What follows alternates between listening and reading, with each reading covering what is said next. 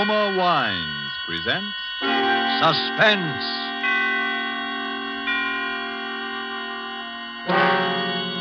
Roma Wines, made in California for enjoyment throughout the world.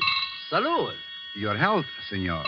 Roma Wines toast the world. The wine for your table is Roma Wine, made in California for enjoyment throughout the world. This is the man in black, here for the Roma Wine Company of Fresno, California, to introduce this weekly half hour of Suspense. Tonight from Hollywood, Roma Wines bring you Mr. Sonny Tufts in a suspense play that tells of a murder in Boston and of perilous adventure in Vermont's snow covered hills. And so, with Cat and Mouse, and with the performance of Sonny Tufts as John Guthrie, an engineer, we again hope to keep you in suspense.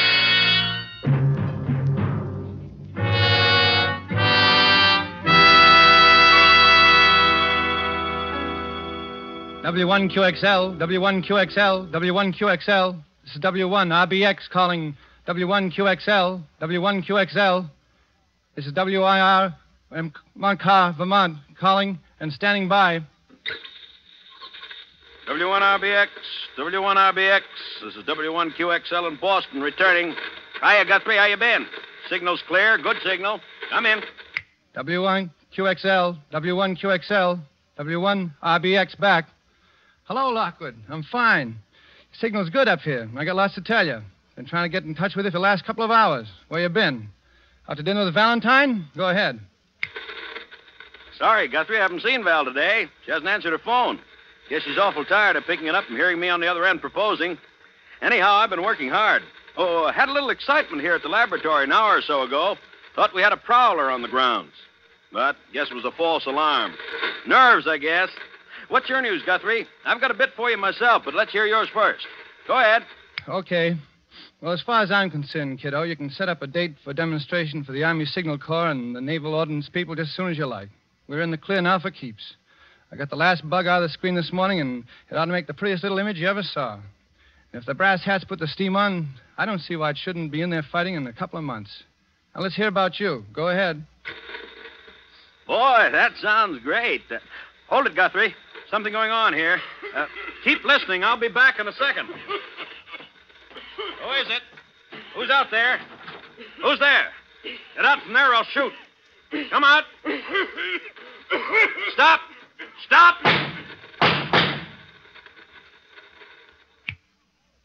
What is it, Lockwood? Howard, what's the shooting? Is that you coughing? Lockwood, is that you? Go ahead. Hello. Hello, Guthrie. I saw him that time. Almost got him with my rifle.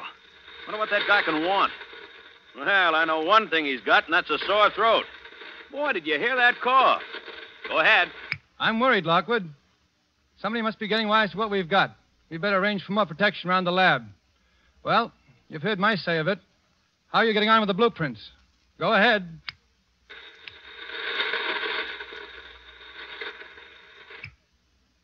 Did you hear me, Howard? Go ahead. W1QXL, W1QXL. What's happened? Come back in. Go ahead. Hello. This is W1QXL. I, uh, I'm going away. Uh, I'm going skiing. I'm going skiing up in Sunbury, Vermont at the Phoenix Hotel. The Phoenix. Have you got that, Frank? Frank. What's all this about you going skiing? You've never been on skis in your life. Besides, I'm coming up to see you, and it's important. We'll get together now in the blueprints, okay? At the Phoenix Hotel. Go ahead, Frank. What's this gag calling me Frank? What's going on?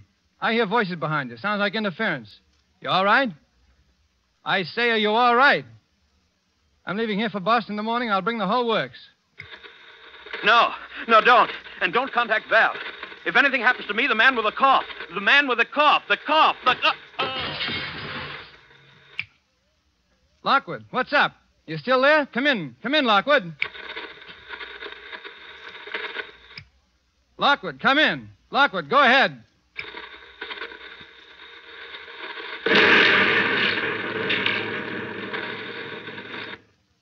W1QXL, W1QXL.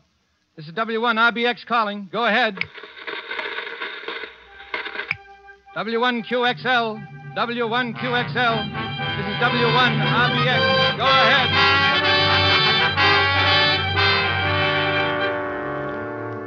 Tonight, for suspense, Roma Wines bring you as star Mr. Sonny Tufts, whom you have heard in the prologue to Cat and Mouse by Hugh Pentecost. Tonight's adventure in suspense.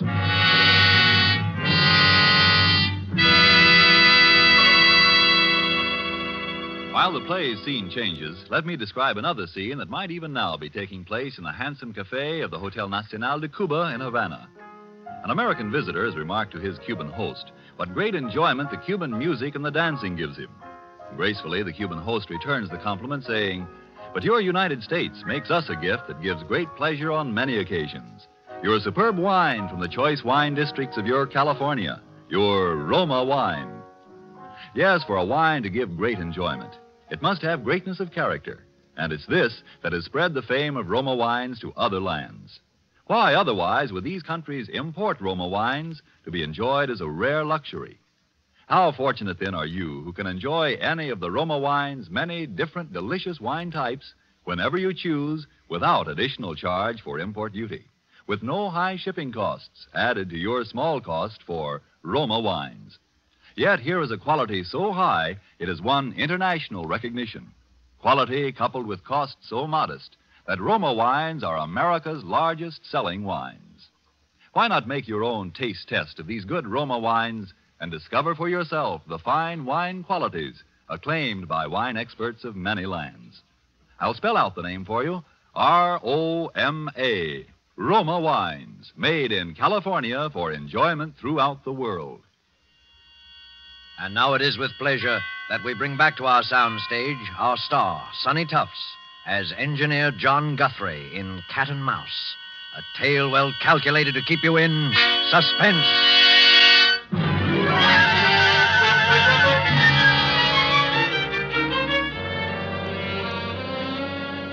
Well, that's about all the facts we know, Miss Ames. Yes? The bruises on uh, Mr. Lockwood's head were a little hard to explain, as you pointed out. It was the explosion that killed him. Uh, that seems to be fairly. Dr. Vaughn, yes, the explosion may have been what actually was the final cause of his death. I take a doctor's word like you for that. But those marks and bruises. Suppose he'd been beaten, hit over the head in order to make him. In order to make him what? I, I can't say any more, Dr. Vaughn. I, I don't know quite what I'm talking about, anyhow, I guess. You see, Howard had been experimenting with something. He had a collaborator. Collaborator? Yes, I don't know who. Howard would never. Well, he used to talk to this other man on shortwave. They both had shortwave sets. Radio hams, you call them. Those amateur radio operators. Yes. Well, I must go. Oh, let me help you with your coat, Dr. Vaughn. Oh, thank you. I must say that after talking to you, I'm partly convinced, Miss Ames, but uh, murder's a pretty difficult thing to prove, especially in this case. And uh, Oh, excuse me. uh, I'll be going then. I uh, Hello? Yes? Mr. Guthrie. Well, oh, I see. Well, if you was a friend, I. Where? In the drugstore? Yes, I'll wait. Just come right up to apartment 15E. Yes. Goodbye. Thank you again for your trouble, Dr. Vaughn. well, please feel that you can call. Oh, I'll get you some water. no, no, no, don't, don't bother. Too many cigars. Bad larynx. I'm awfully sorry. I'll say goodbye. Sure you're all right? No, it's perfect. Don't worry. I'll keep in touch with you, Miss Ames. Yes. Well, goodbye now.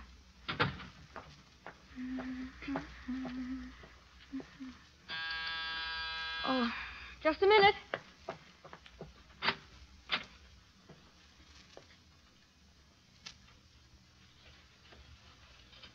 Hello. You must be Valentine Ames. Yes, I am. I'd recognize you anywhere. Well, just, uh, are you Mr. Guthrie? Just throw your things in that chair there. You're just as I pictured you. Lockwood spoke of you so often. Howard spoke of me? Do Well, you? You were engaged to be married, weren't you? No, I was fond of him, but But never he- that way. He told me, that is, he said, Then you were his collaborator. Oh, please, Mr. Guthrie, you can trust me. I need help. They all say his death was an accident. The coroner, the newspapers, the police.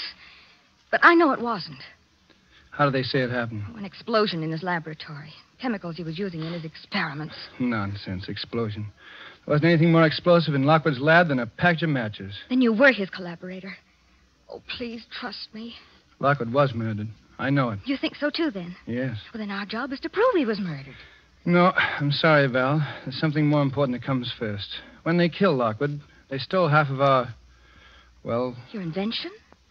But half an invention is worthless. but I have the other half. In other words, Yeah. I'm next. We can count on that. but th- they don't know who you are. Maybe not yet. Hmm. That was why Lockwood kept calling me Frank when he was talking to me near the end. He didn't want to give my name away to them. And you've no idea who they are. Just something we could start on. It was just one thing. That night, the night he was killed, we were talking the shortwave, and he'd been bothered by a prowler. He spoke of it. Why, I even heard the fellow in the air. He was. Oh, Phone. Excuse me a second. Hello? Yes? Oh, Dr. Borberg.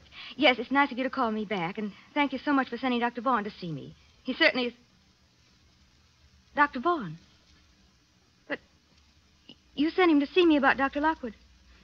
About Dr. Edwin Vaughn? You're positive? I see.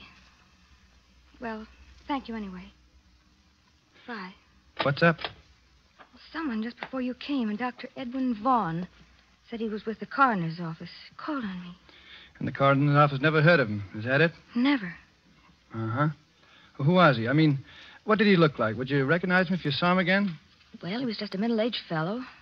Poor man had a terribly bad cough, one of the really hacking coughs. The cough. Yes. It's the same one. He came to Howard's lab the night of the killing. I heard him. You're sure? Positive. You see, it fits. He was looking for me. Figured I'd come here to see you. He wants my half an invention. Well, Val, they need what I've got, and I've got to get back what they've stolen. So, Where are you going? skiing. What? I'm going back to Vermont to go skiing. I'll send you a card from the Phoenix Hotel.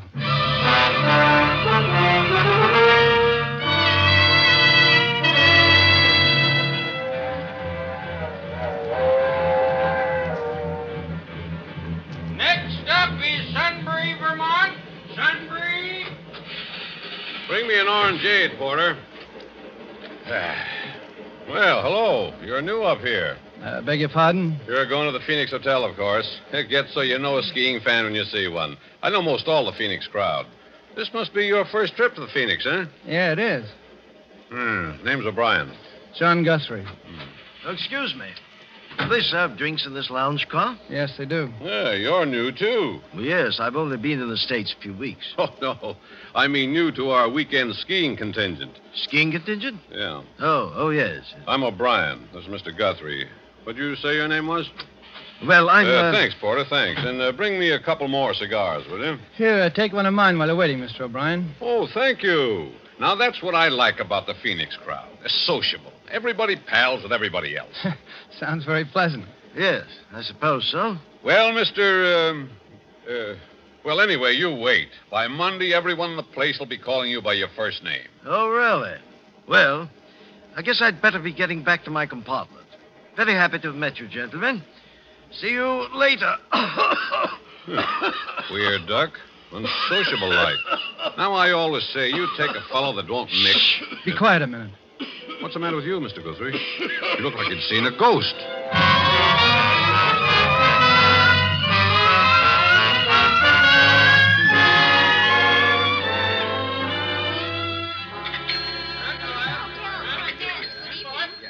Uh, good evening, Mr. Guthrie. I trust you're feeling refreshed now, sir. Yeah, three hours sleep and a long walk was just what I needed. Any messages for me?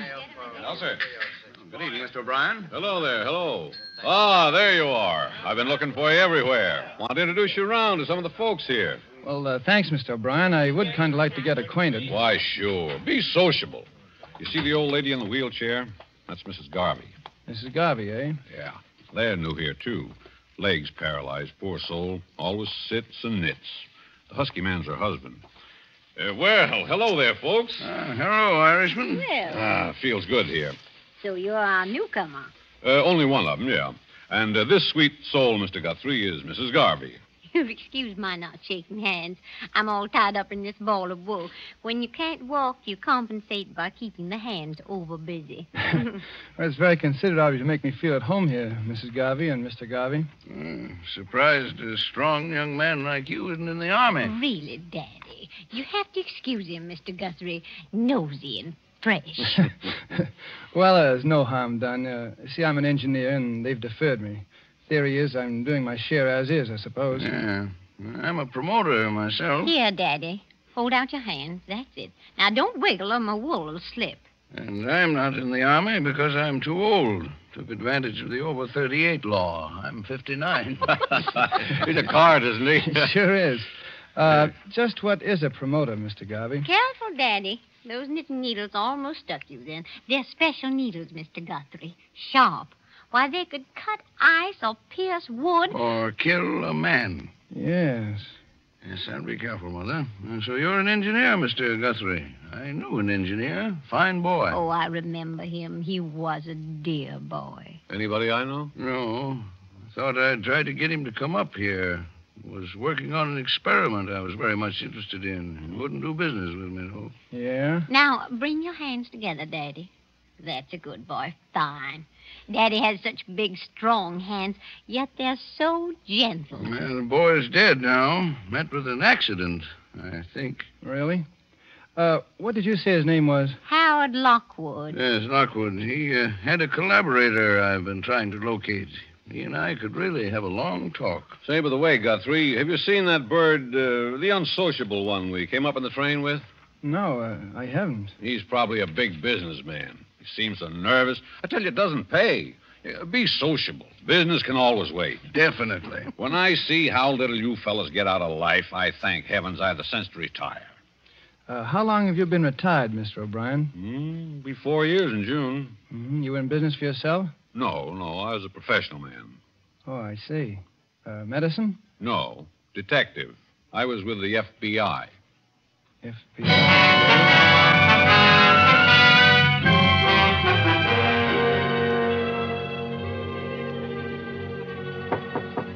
Come in. Well, well, Guthrie, come in, come in. Feel just like a nice sociable talk. Sit down, sit down. Mr. O'Brien, I'm in trouble and I need expert help, and you are an FBI man. You can help me. Uh oh. I was afraid of that. I'm sorry, Guthrie. I'm retired. Too old for the game. You get a hold of the Boston office. They'll get someone up to help you in a jiffy. Call Jack Porter. He's in charge now. Mention my name. But there's no time now. You see, Boston is six hours from here. I need help right now. Oh, take it easy, boy. Relax. I suppose you're another engineer with some gadget that's going to win the war. That's a familiar one. Mr. O'Brien, this is serious. There's a murder in this hotel, and if I don't get him, he'll get me. Now, now, take it easy. If you'll just give me a hand. You know, I felt there was something going on here this weekend. Things, were, things weren't sociable like they usually are. Mm-hmm. What have you noticed? Well, nothing in particular. Just people seemed to act funny. You take that Garvey and his old wife, and that bird with a cough that came up on the train with us. What's he up to, eating his meals in his room? Look, will you help me, Mr. O'Brien? I do have an invention, as it happens, and. Oh, excuse me a minute. Hello? Mr. Guthrie? Yes, he's here. Hmm. The gentleman in 421. Right now. Very well. Goodbye. It's for you. Party in 421 wants you to step in and see him.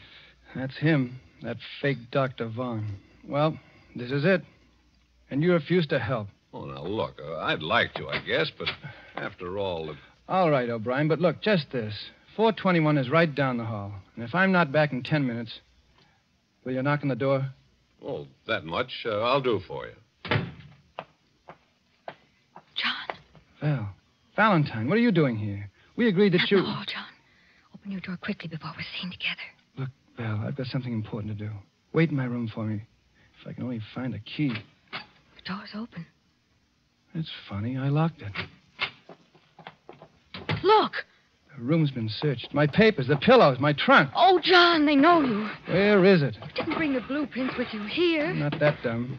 Well, it's gone. What? My gun. Oh, John, I'm afraid. I feel as if I'd known you for a long time. My dear. Well, you know I love you, don't you? John, we, we, we shouldn't talk about that now. But you see, I've been in love with what I think you are. I've only known you for two days, and What are you trying to ask me, John? Why you came when we agreed that you shouldn't. Because I was afraid that you. And why I find you hiding near my door and find the door unlocked when I had locked it only ten minutes ago, and then I come into my room and I find oh, this. Oh. John, don't. Please don't. I came because I wanted to help you. I felt that if you were in danger, it wasn't right for me to stay home, safe, not knowing. Yeah. I'm sorry, Val. I trust you.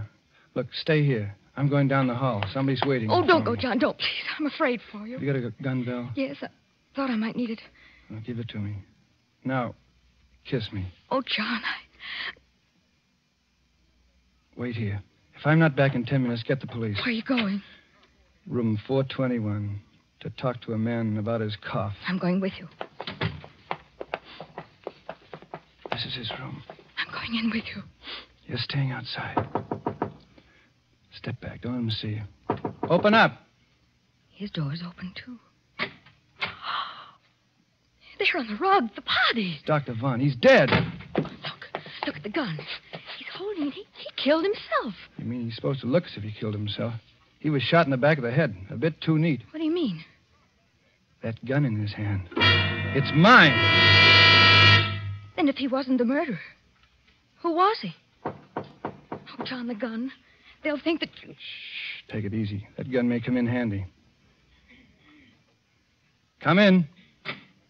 Well, Oh, Brian, look here. What? This gun's mine. It's a plot to frame me. what? That's not your killer, Guthrie. That's Hilary Lawrence of Scotland Yard, assigned to this case because his government, like ours, is keenly interested in your invention. I should have listened to you before, Guthrie.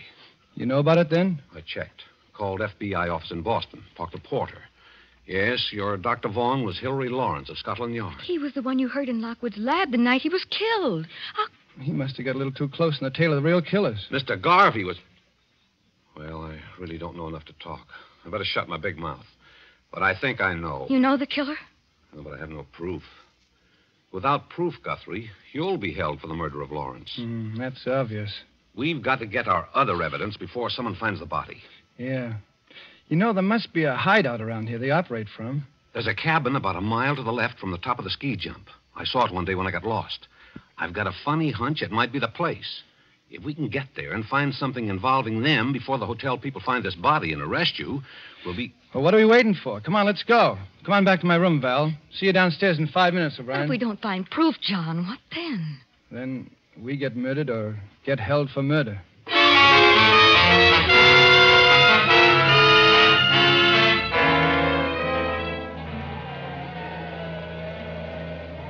Cabin's dark. Yeah, one of these keys must fit. Ah, that one does it. Softly now. Mr. Guthrie, I'll take Miss Ames's gun. You're too impulsive. Thanks. Well, there's no one here. Draw the shade, please. I better keep a lookout on the road. Someone may come. That's a good idea. Now, this is what I call a real sociable evening. Look, a note, and it's addressed to me. Well, we're in the right place then. Read it. Guthrie, 200,000 in cash for your blueprints, and you can get the cash first wherever you designate with no questions asked as to what government gets them. Why Uh, those Calmly, my boy. You don't have the prints here, do you? uh, no, uh, they're uh, they're uh, in a safety vault in my name in San Francisco. What's what's that there, that panel? It's a radio rig, sending and receiving. Someone's coming. Who? Quick, turn off that light. Sneak a look, John, here through the window. It's Garvey, and he's alone. Alone? Are you sure? Where'd he put that wife of his? Take another look. Uh, he's alone, all right. I knew she was a phony. She does too much knitting. I wonder where she is. All right, Miss Ames, out you go, quickly. Get to the foot of the road before he does. It's uh, it's your car, understand? yes. You're lost, looking for a way back to the Phoenix. Delay him from coming in here. I'll go outside. You search the place, O'Brien, with Val. No, let the girl go. Her best weapon is her charm. Hurry now. Stall them as long as you can. Good luck. Don't worry. I can see them from here. Look at it. Short wave. Yeah. With this outfit, Garvey could hear Lockwood and me talking over our work. Yeah. Pretty clever operator, I'd say. Can you see Val? Yeah. She's getting near him now. Brave girl, that one. The best. There she is. He's seen her. Let me have a look. See them? Over my finger, between that row of trees. Yeah, she's talking to Garvey now. She'll stall him. Hey, come on, O'Brien. Let's start searching his Wait a minute. Wait a minute. Look, they're coming this way. The two of them.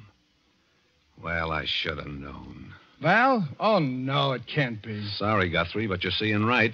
The girl's with Garvey. But she loves me. I know it. She's honest. I swear it. They're coming up the path. You stand behind the door. I'll stand up on the balcony and cover them from behind with a gun. You all set, Guthrie? All set. You spring out on them as they close the door, and I'll cover you from here. Val, Garvey, duck. He's got the gun. Above. Oh, oh, my arm. O'Brien. All of you reach. Don't stoop for that gun, Guthrie. Up with your arms. Three of you are going to join the late Mr. Lockwood. The girl and Mr. Garvey of the FBI who poked his nose in the book too far. You're out of your mind, O'Brien. What will you get by killing us? I've got the information you want, and if I'm dead, you'll never get it. I'm fighting for my life now, not your invention. With you three out of the way, I've got a chance. A fire in this lovely cabin will do the job nicely. Now get into that closet, all of you. Oh, Get you- started. You're missing one, O'Brien. My wife. I'm not worrying about that. Old... Drop your gun, Mr. O'Brien. That point you feel in your back is my knitting needle. Drop it. Remember, it can crack ice, pierce wood, or kill a man. Okay, Mrs. Garvey. Certainly nice to see you again. Uh, nice job, Guthrie. You tipped us off just in time. Sit down, Mother. You look tired. You must be standing behind the kitchen door for an hour. Look here. You, Just be quiet, Mr. O'Brien. Formerly of the FBI. Kicked out for improper conduct, he was. The service has had its eye on you ever since, my friend. Yeah, you see, you made a slight error, O'Brien, when you said you'd call the porter of uh, the Boston FBI office. The outgoing lines from the hotel have been out of order since 5 o'clock. Oh, your arm, Daddy. Here, let me bandage it. You better get going and have it looked after. Oh, it's bleeding. I, I think I'm going to faint. Faint ahead, Val. I got a pair of arms that aren't doing a thing.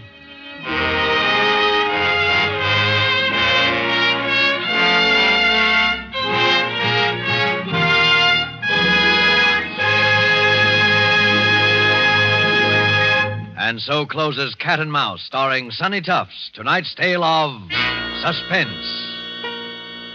Mr. Tufts appeared through the courtesy of Paramount Pictures and will soon be seen in the Paramount picture I Love a Soldier. Few spots on the globe boast the unique and perfect combination of nature's gifts, which makes possible truly good wine.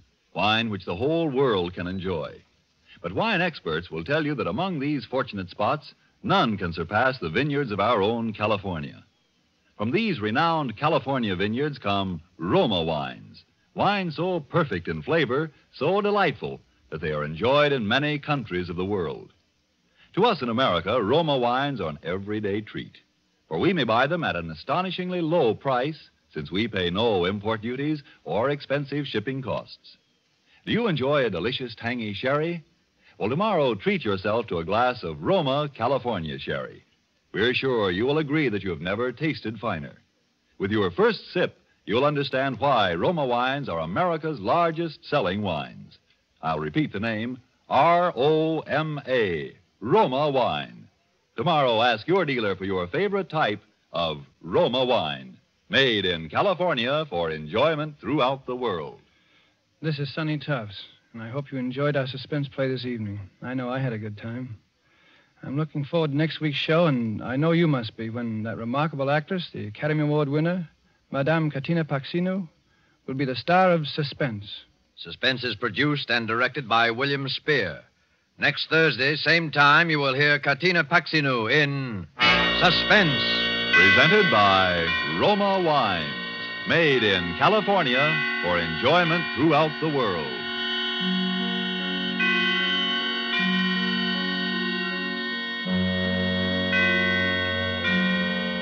This is CBS, the Columbia Broadcasting System.